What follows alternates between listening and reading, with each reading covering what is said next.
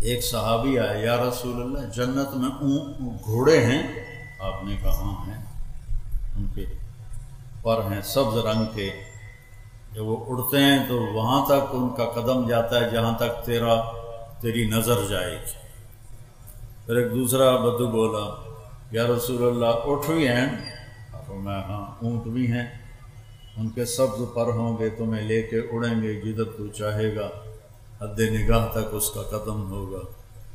پھر ایک تیسرا بولا، یا رسول اللہ، جنت میں کھجور بھی ہے۔ کھجور اور پینڈ تو ان کا بہترین پھل ہے۔ ہم نے کہا ہاں ہے۔ یعنی ایک کھجور کا دانہ کوئی بارہ ہاتھ لمبا ہو۔ بارہ ہاتھ کا مطلب ہے کوئی چھبیس فٹ ایک کھجور کا دانہ لمبا ہو۔ تو اگر ہم اسی قد میں چلے گئے، آسان تھا ہکو پینڈ کافی ہو جائے۔ بچے ہی غائب ہو جاؤں۔ تو میرا اللہ کیا کرے گا؟ جو قد آدم علیہ السلام کو دیا تھا اور اماں ہوا کو دیا تھا، وہ قد جنت میں اللہ واپس ہمارا بنائے گا۔ وہ ہے ساٹھ ہاتھ اور ساٹھ ہاتھ کوئی ایک سو تیس فٹ بنتا ہے۔ ہر مرد عورت ایک سو تیس فٹ۔ ہر جنت کی حور ایک سو تیس فٹ۔ پر اور ہر عورت کے بال سر کی چوٹی سے چلیں گے اور پاؤں کی ایڑیوں کا گوسا لیں گے۔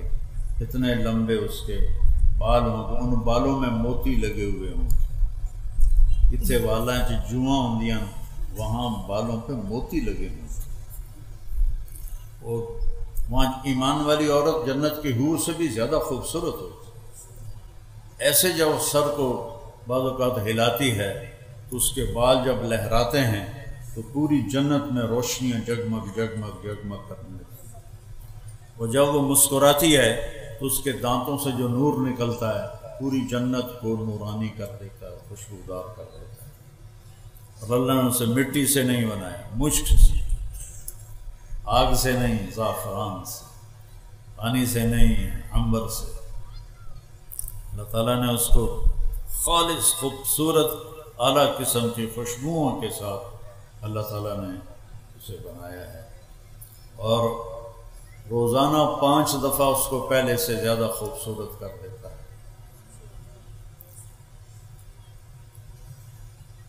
تو اس قد پہ اللہ تعالیٰ جنت میں داخل فرمائے۔ اور آپ نے فرمایا، سب سے پہلے میرے ساتھ میری امت کے غریب لوگ جائیں گے۔ مالدار پچھیرے ہوں گے نواب زادے ذمہ دار بڑے افسران، یہ وہ باران علی لائن چڑھوں گے۔ اور یہ ریڈی والے، رکشے والے، بیچارے، ایک دن پکتی ہے، ایک دن بھوکے رہتے ہیں۔ آپ نے فرمایا، میرے ساتھ یہ غریب لوگ جنت میں میرے ساتھ پہلے داخل ہوں اور وہاں سے آگے ہر ایک کے لیے اللہ تعالیٰ نے مقام اور مرتبہ رکھا ہے، اللہ ان کو وہاں پہنچائے گا۔ اور پھر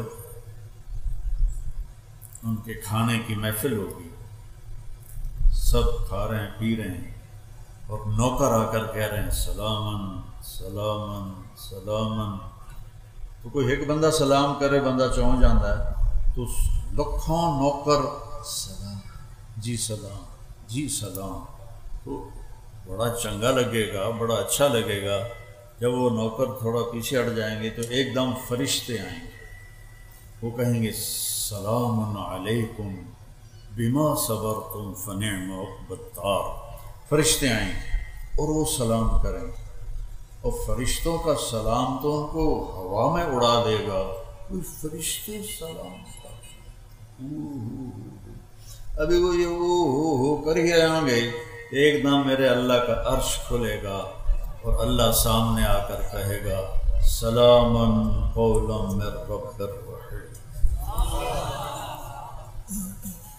وجوہ یوم الى ربها ناظرہ آج دیکھ لو اپنے رب کو جی بھر کے۔ جب اللہ سامنے آئے گا تو اللہ تعالیٰ بھی فرمائے گا سلام رب الرحیم۔ اپنے رب رحیم کا سلام قبول کرو۔ پھر اللہ پوچھے گا حل رضیتم راضی ہو؟ ایک ایک مرد عورت سے پوچھے گا ایک کتنے ارباں خرباں ہون کے بعد؟ ایک ایک سال میرے نبی نے، ما منکم من احد الا سیحاضرہ ربہ محاضرہ۔ ایک ایک سے اللہ پوچھا کیا حال ہے؟ خوش ایک ایک مومن عورت سے پوچھے کیا حال خوش ہو۔ کوئی تکلیف تو نہیں؟ تو پھر جنتی بولیں یا اللہ، ہمیں تو پتہ ہی نہیں تھا کہ تو اتنا خوبصورت ہے۔ ہم نمازیں تو پڑھتے رہے کنجوانی میں، لیکن ہمیں تو پتہ ہی نہیں تھا۔ تو ہمیں اجازت دے کہ ہم ایک سجدہ تجھے دیکھ کے کریں۔ تو اللہ تعالیٰ فرمائیں گے، ارے میرے بندو دنیا میں تم میرے بندے تھے، میں تمہارا آقا تھا۔ اب جنت میں تم میرے مہمان ہو، میں تمہارا میزبان ہوں۔ میاں محمد علی جو کول میں آیا، میں نے کوئی فکر ہوئے گا میں روٹی کی تو کھاؤں؟ پتا ہے بھائی، اسے ہی کھماونی ہے اتو ہی لبنی ہے۔ تو میرا رب کہے گا، میں میزبان ہوں۔ تم مہمان ہو۔ اب میں تم سے کیسے کام لوں؟ چلو، دنیا کے سجدے کافی ہے وہی روزے کافی ہیں۔ چلو، کو میں کو منگو، کوئی شے منگو میرے کو۔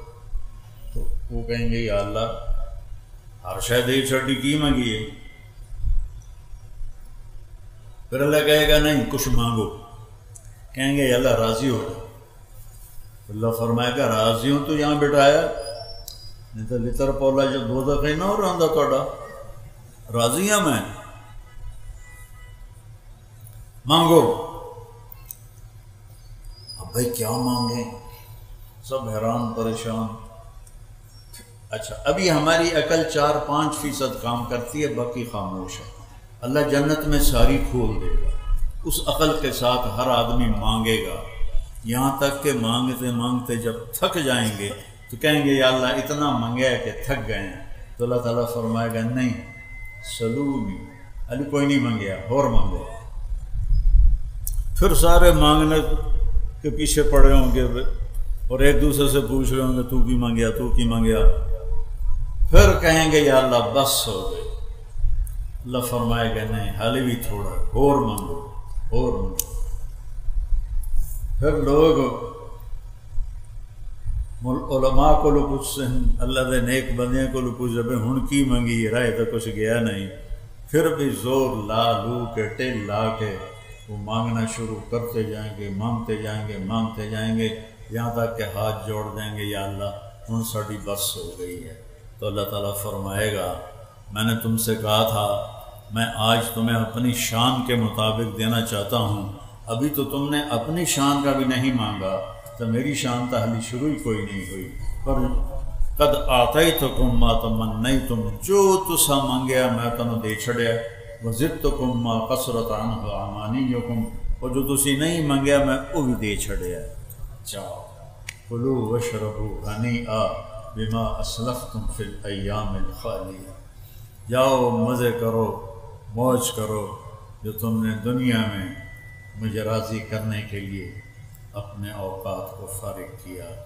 اپنی زندگی کے اوقات کو میرے مطابق گزارا۔ آج اس کا سلا لو۔ کھاؤ، پیو، موج کرو، مزے کرو۔ دیکھو، یہ نماز جنت میں نہیں ملے گی۔ ترس جائیں گے لوگ۔ نماز کی دولت یہی ہے، روزے کی دولت یہی ہے، حج کی دولت یہی ہے۔ یہ آگے جنت میں ایک سجدہ کرنے کی اجازت نہیں ہوگی۔ ایک سجدہ کرنے کی۔ جن کو پتہ تھا سجدہ کیا ہوتا ہے، وہ پوری پوری رات سجدے میں گزار دیتے تھے۔ تو ایک سجدے کی بھی اجازت نہیں ملے ایک روزہ رکھنے کی اجازت نہیں ملے تو تو یہ نعمتیں آج یہاں موجود ہیں، ان کے ذریعے ہم اللہ کو راضی کر رہے ہیں۔ کوئی بے نمازی نہ رہے۔